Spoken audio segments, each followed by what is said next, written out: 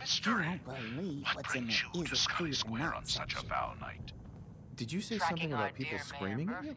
That's right. Some some newcomers mischief. have never seen a ghoul before. Mayor. Can't handle So friendly wasn't face, here in I some see. kind of So you need some supplies? capacity. Hardly. Ghoul?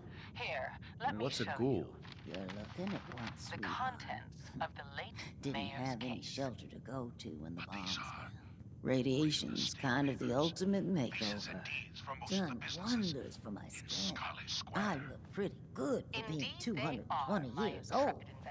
Now you buying anything? seem our Mayor Murphy Wait, in you're 220 years old? Okay, okay. He was here to it's meet with more like 270 malefactor. years. But don't go blabbing that to Mayor, I hope you everyone. found the place Being all a ghoul means you live a long time.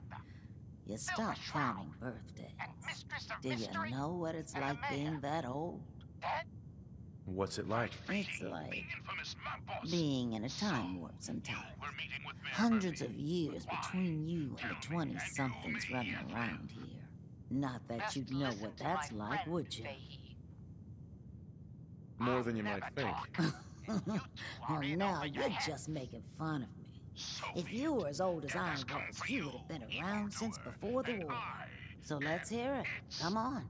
Tell me what the world was like before the war if you're so ancient. fighter. Later, suckers. I had a beautiful house, white picket fence, and a lawn with the greenest grass you'd ever seen. You're shot.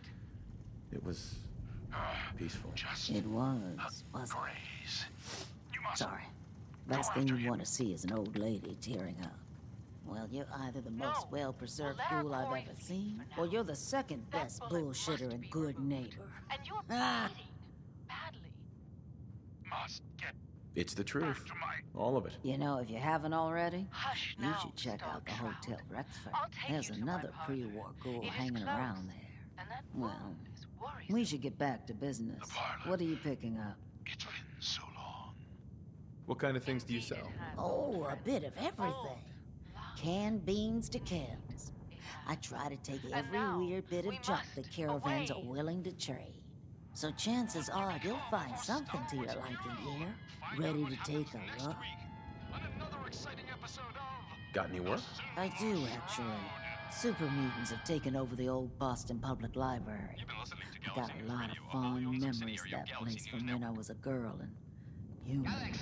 You get those lumbering brutes out of there, I'll pay you 200 caps.